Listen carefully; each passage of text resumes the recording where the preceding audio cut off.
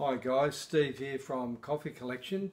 This week I'm doing a number of posts on super automatic coffee machines. In my uh, past life I worked on uh, bean to cup machines, commercial bean to cup machines and this is a brew unit from a bean to cup machine.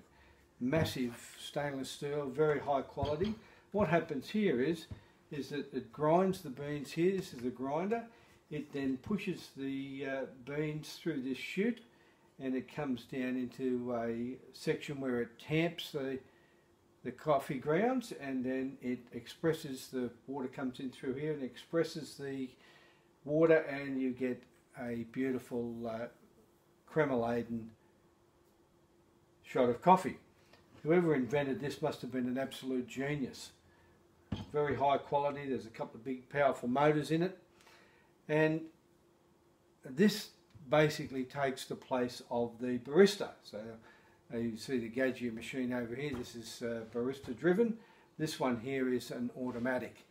And nine times out of ten, whenever I got a, a service call to have a look at these machines, there was something wrong with this brew unit, brew and grinding unit, mainly due to lack of maintenance. Now, What's happened over the years is they've taken this concept of this automatic barista type uh, machine and they've created a smaller brew unit like this for the home or the domestic market. And as I've said before, you've got Jura, you've got uh, DeLonghi, Gaggia and Saeco. And these are the brew units. They basically do the same thing. There's a grinder sits on top. It then pushes the, uh, the grinds into this chute. It then automatically tamps it and the water comes in through here and it expresses through the through the coffee and you get a lovely shot of uh, crema laden coffee. So as with commercial machines, this poses a problem with automatic coffee machines because very few people do anything to actually look after this. There's seals in there, there's shower screens in there, they get coffee grounds all over there that need to be scraped out. So this needs to be cleaned on a regular basis from the variety of machines. Some machines are easier to do than others. Saeco and Gaggia uh, are quite easy to do. DeLonghi and are a little bit more complicated.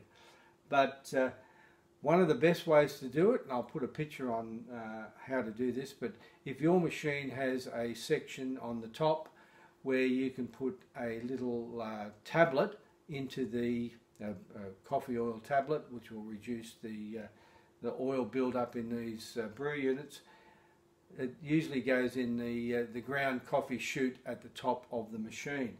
And if that's done on a regular basis, it will clean out this, this brew unit. And of course, from time to time, you need to take it out, give it a good wash, and grease it up with a little bit of lube. So that can be one of the problems with the, one of the issues with the super automatic coffee machines. But that problem can be eliminated with a little bit of thought, care, and maintenance. So I hope that's helpful.